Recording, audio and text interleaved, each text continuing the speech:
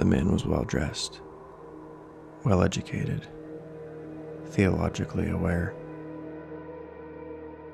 but completely insane. The way he saw things made no sense. His rational world was simply irrational.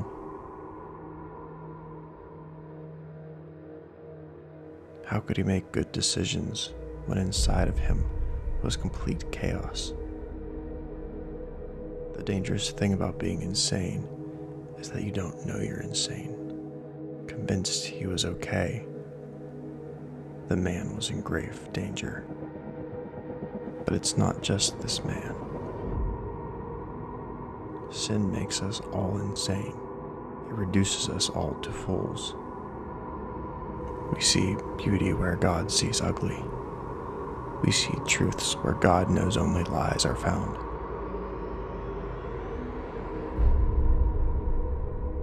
We insert ourselves into the center of our world, the place for God and God alone, created for Him.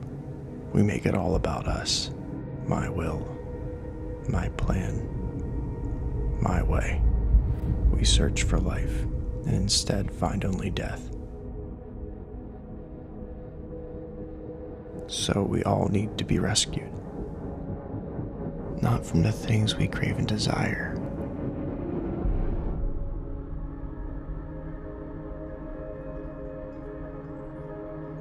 We need to be rescued from us.